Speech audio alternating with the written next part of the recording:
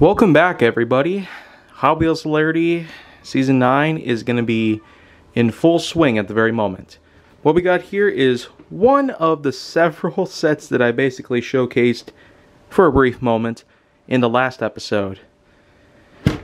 This is essentially the multi-lane speed box that we're going to do first before we get to some of the others that I've also managed to pick up.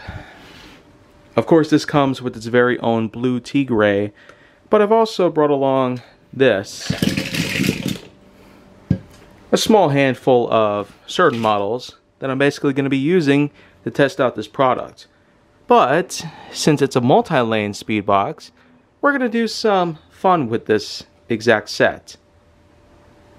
But let's get to unboxing first. Alright, now everything is out, and basically, a quick overview here. We got the box itself, which is essentially a four-lane starting gate, several pieces of track, both in the original orange as well as yellow, complete with an orange stripe down the center.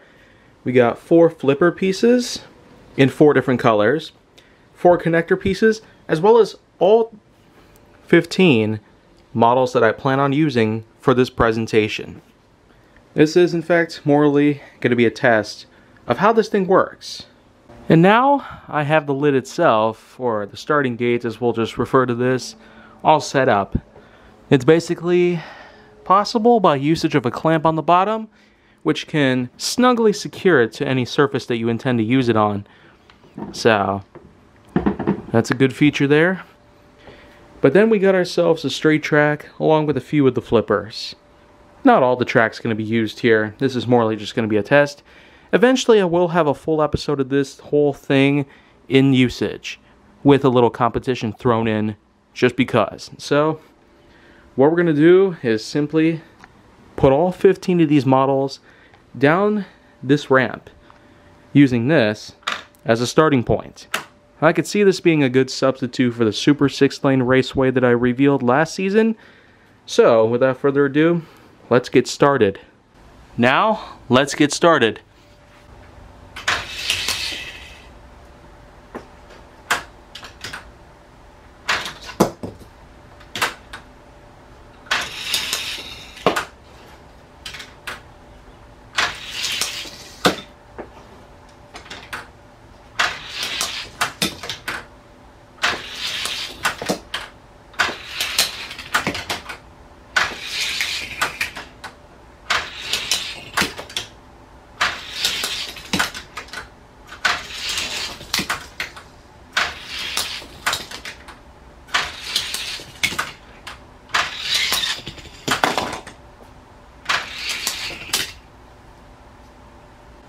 Looks like everything works well.